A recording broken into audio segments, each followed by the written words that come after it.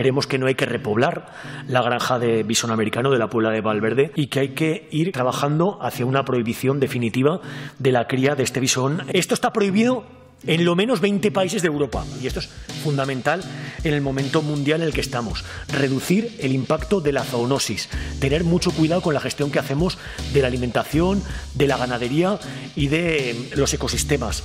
Y la comunidad científica lleva muchos años avisándonos de esto. Que la sociedad cada vez busca más empatía y ética hacia los animales, hacia el bienestar y lo que se practica en estas granjas es todo lo contrario. Espero, señorías, que sean responsables. La toxoplasmosis, pues la transmite, por ejemplo, el gato. Pues tendremos que sacrificar también a nuestras mascotas. No creo que haga falta recordar lo que pasó en España con un perro, también con una zoonosis.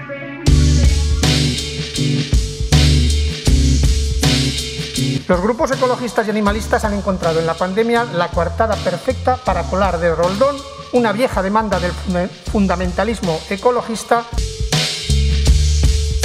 es que ustedes al final son muy de, prohibir, muy de prohibir. Los huevos tienen que ser de gallinas libres de jaulas. Hemos de, prohibir las corridas de todo. La industria peletera la cerramos.